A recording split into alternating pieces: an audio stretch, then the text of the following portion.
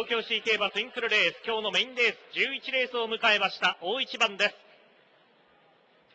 ダービーウィーク2012第58回東京ダービー S1、JBC 協会協賛ネオユニバース賞、2000メートル、フルゲート16頭で争われます馬場状態の発表、量です。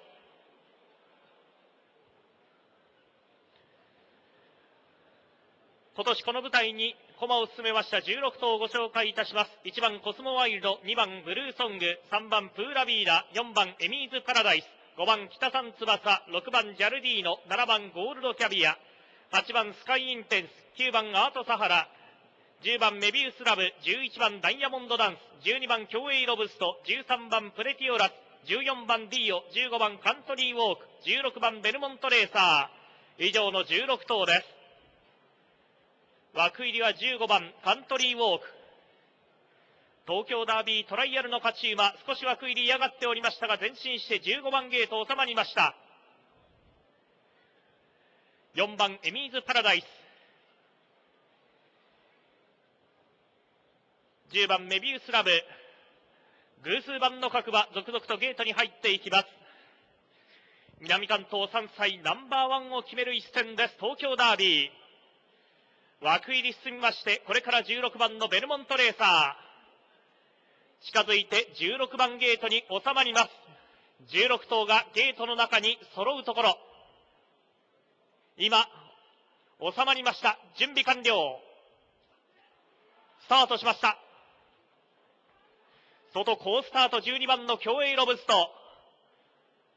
やはり先手を奪うのはこの馬でしょうか。12番競泳ロブスト出ていきました。2番手集団から前を追ってくるのが外16番ベルモントレーサー、そして14番のディーオ、15番カントリーウォーク。4頭が横に広がりました。5番手に10番メビウスラブ、それから7番のゴールドキャビア、8番のスカイインテンスが内側、その後ろに4番のエミーズパラダイス、並んで5番の北三翼、内に2番のブルーソング、中段後ろで1コーナーのカーブ、6番ジャルディーのその後ろ、あとは3番プーラビーダ、並んでいくのが11番ダイヤモンドダンス、後方9番アートサハラ、後ろから3頭目、1番コスモワイルド、しんがりから13番プレティオラスです。16頭固まった体勢2コーナーカーブから向こう上面。12番競泳ロブスト先頭2馬身のリード。2番手14番のディーオ。2馬身半差。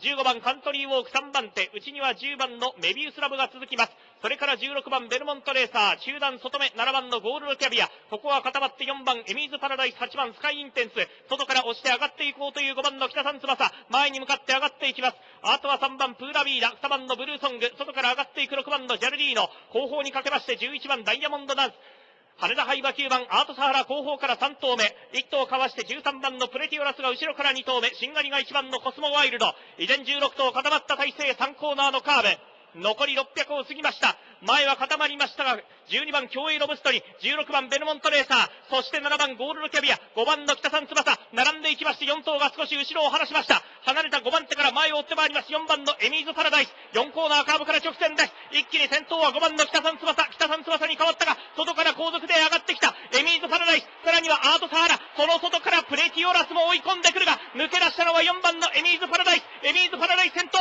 外から13番のプレティオラス、プレティオラス、はその外からダイヤモンドダンス、内からプーラビーダも追い込んでくる。先頭わずかにプレティオラスか。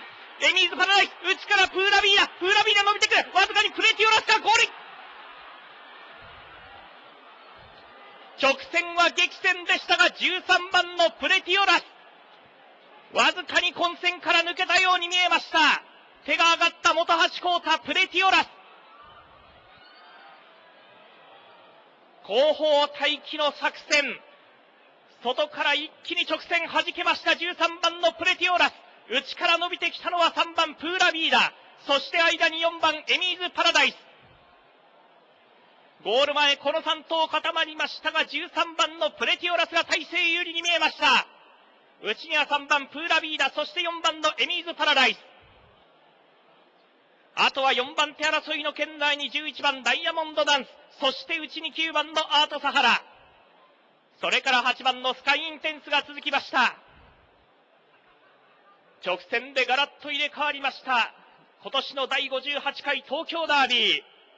4番エミーズパラダイス一旦先頭でしたが、外から伸びた13番プレティオラスがこれを捉えて、エミーズパラダイスの内から3番プーラビーダ、最後追い込んできましたが、先着は13番のプレティオラス。本橋光太騎手。2番手争いがプーラビーラ、エミーズパラダイス並んで接戦。しかし電光掲示板、審議の文字が灯りました。今年の東京ダービー、審議となっています。勝ちタイムは2分6秒8です。お手持ちの勝ち馬投票権着順が確定するまで絶対にお捨てになりませんようご注意ください。この後お知らせがございます。この競争は審議です。